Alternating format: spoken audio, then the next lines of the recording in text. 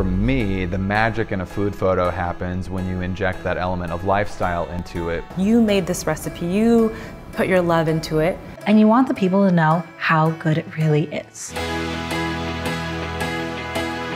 Today I'm going to show you how to style and shoot brown stews. Three different ways to style your barbecue.